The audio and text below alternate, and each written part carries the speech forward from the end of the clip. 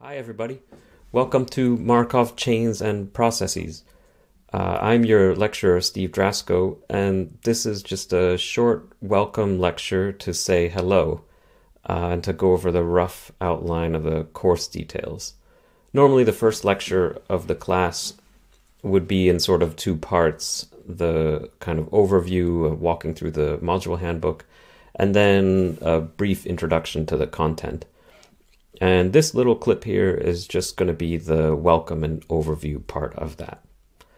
Um, so let's just take a look here at the module details. So as I said, I'm the lecturer for the module and also the module coordinator, the only staff on the module really.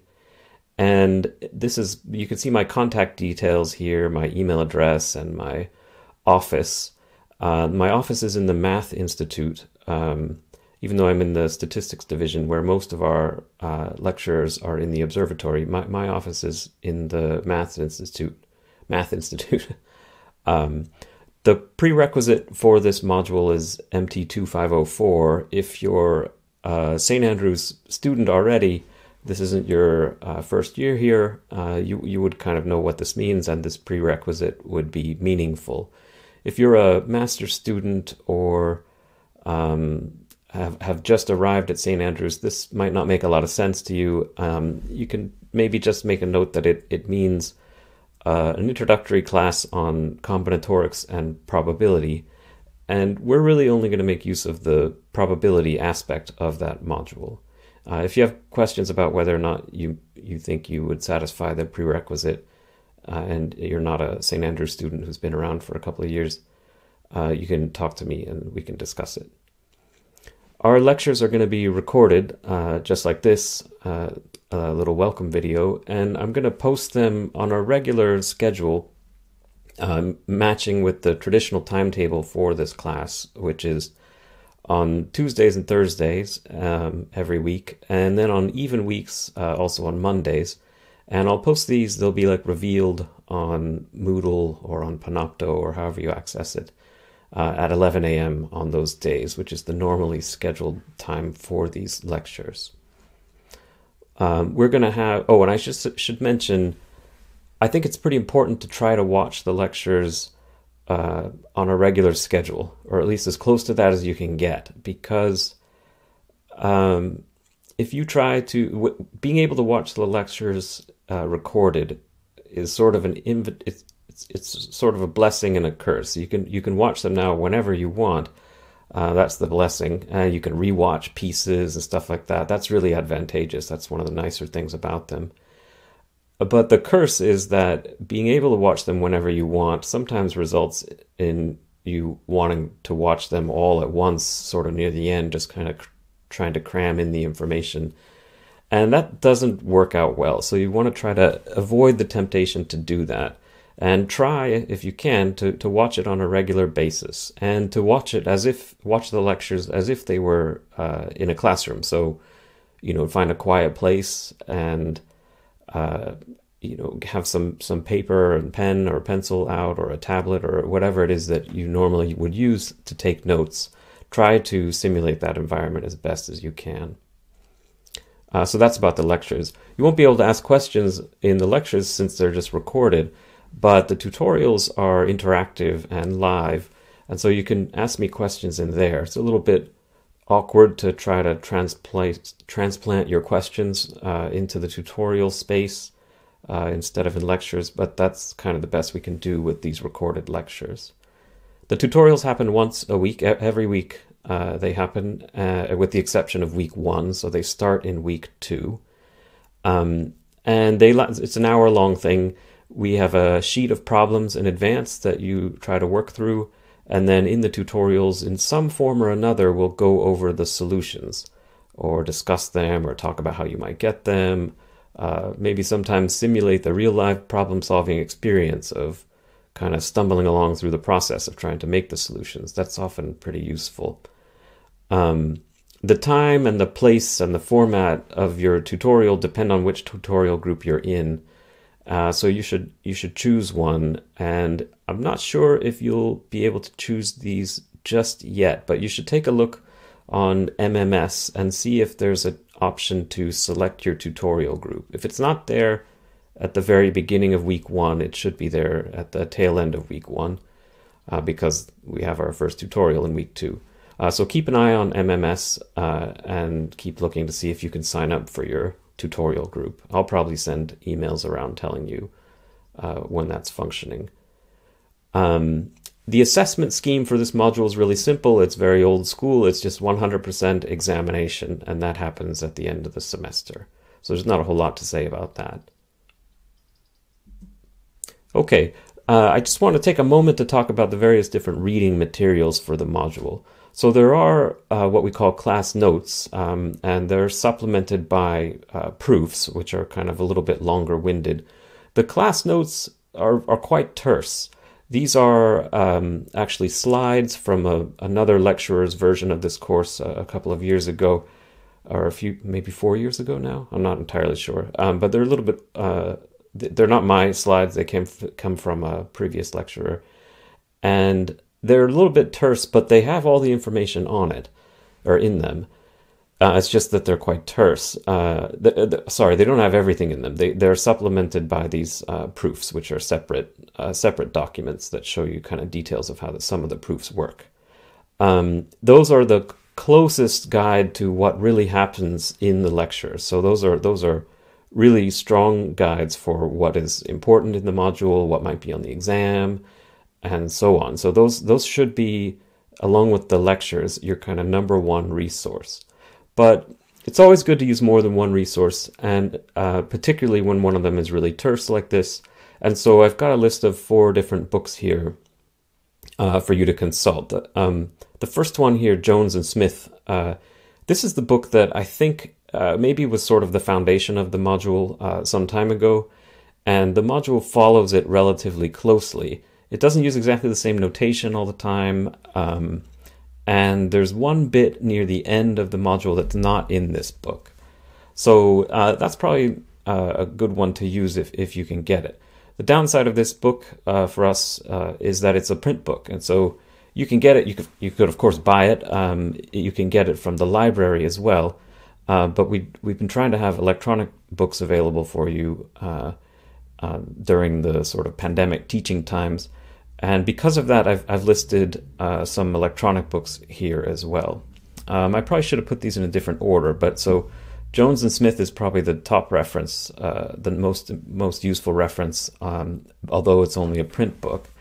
The the best um, oh this is this is the right order. So the, the best um, alternative to that, if you can't get your hands on the print book, uh, is this book from 2013 called Understanding Markov Chains Examples and Applications. This is an electronic book, and I believe you can download it as one single PDF file.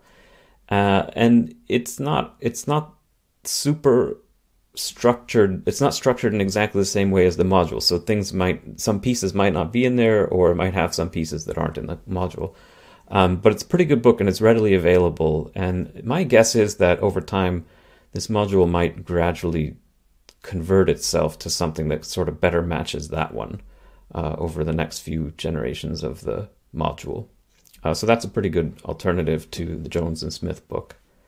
Uh, these other two books um, are really kind of not as important. These last two books uh, are really just about what's in chapter seven of our notes, or the very last, uh, I don't know, what is it, week or two of the module, where we talk about hidden Markov models. And that's a topic that was added to the module relatively recently. It's an interesting and popular topic, um, but it's not. It, it's uh, overrepresented in this list of books here, but it's here because it's not in the first book, Jones and Smith, and I don't think it's in the uh, Privault book. I'm not sure if we say that, if I said that name right.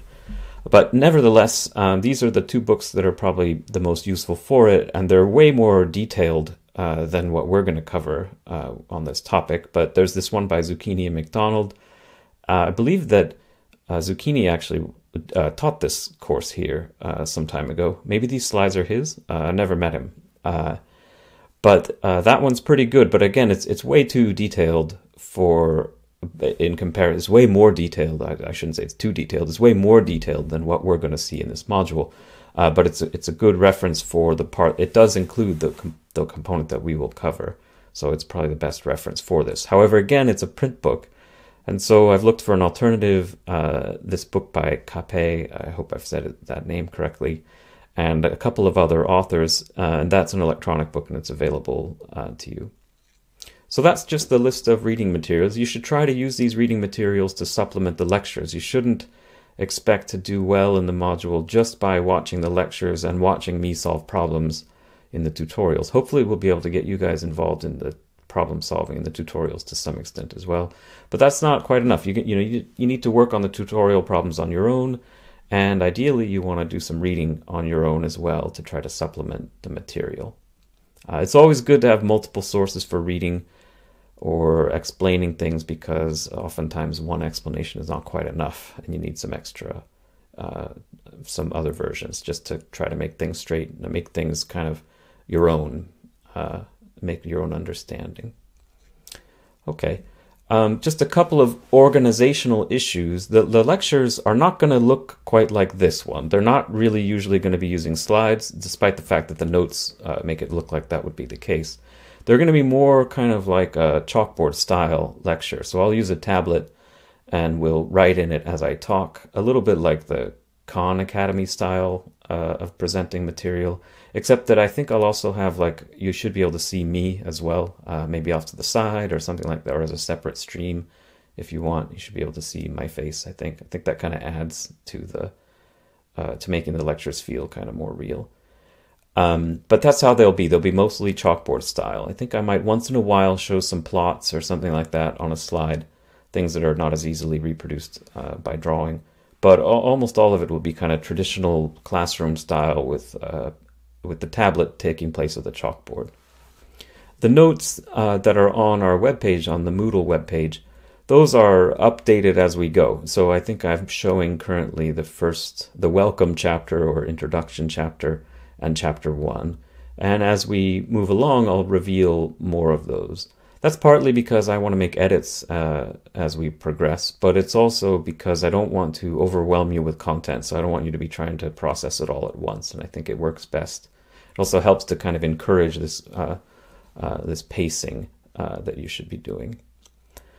Um, oh, and there are also, so as I said, the notes are not just slides like this one, but there are also some supplemental proofs uh, that show some of the more details. Sometimes I won't go over all the proofs in the lecture. Sometimes I will, and sometimes they won't. Some of the proofs will actually won't even be in the.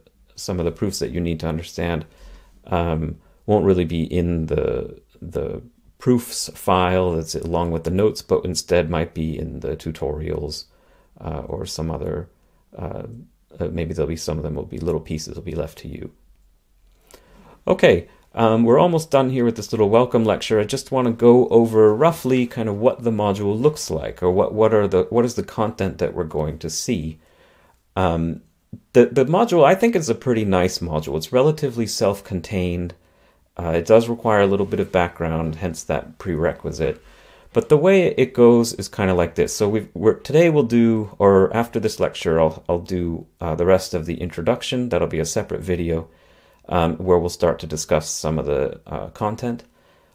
After that, we'll spend a little bit of time. So this is so there's seven different chapters that we'll see in the notes. The first chapter, uh, we'll in the first chapter, we'll spend a little bit of time going over kind of the basics of probability uh, and other uh, kind of fundamental content that we'll need. So the stuff that you would have had in uh, the prerequisite, um, but kind of reminding you, but in a really fast pace. So so not uh, not at the pace of the original prerequisite, say. Uh, but that's what's in the preliminaries chapter. Uh, and after that, we'll introduce the the concept of a Markov chain. So that's chapter two. Um, and the general the general way that this module goes. So the topic of Markov chains is uh, relatively popular and has a whole lot of modern applications, but it also has a whole lot of kind of classical applications um, that maybe might seem a little bit uh, dated or something. But really, all these applications can be kind of, uh, I don't know, transformed from uh, uh between e- uh, into each other. Uh, some of them can. So some like some old school kind of classical application can be recast in some sort of modern, more interesting sounding form. But we're not really going to try to focus on that. Instead, what we're going to do is we're going to introduce the, the content these different chapters in in a kind of a relatively traditional layout of some kind of classical applications. And we won't really touch too much on how do you branch off from those into a whole bunch of more uh, all kinds of different topics. So we're going to sort of mainly just lay out the kind of key uh, classical applications or example type settings uh, in which this material uh, is is used. And so the, the, chapter two will introduce the topic of Markov, chain, Markov chains altogether, and in chapter three we'll go over a particular I don't know if application is quite the right word, but a kind of example uh, type of problem that we'll call random walks, uh, which we'll talk a little bit about those in the first uh, in the first lecture as well. But we'll really start to do them carefully in in chapter three. Then in chapter four, another uh, kind of traditional sort of uh, setting or example of Markov chains is uh, branching processes. So we'll talk about that in chapter four. after that, we'll talk about Markov processes, which are a slight generalization of Markov chains. Uh, the name for Markov processes kind of varies from time to time, um, but we'll be calling them Markov processes. So that's going to be in chapter five. Chapter six is going to be on queuing systems, uh, another kind of example uh, setting, classic setting for introducing some of this content. And then chapter seven, which is maybe the most modern aspect of the module, uh, is on hidden Markov models, um, and we'll go over that uh, as the last part of the module. So that's just the end of the welcome there. I just wanted to say hello, um, and I hope everyone's doing well, and that you'll now go on and uh, maybe check MMS to see if you can register for a tutorial group, and uh, after that, uh, go on and watch the first lecture, uh, or the other half, the other part of the first lecture. Okay, uh, talk to you guys again soon. Bye.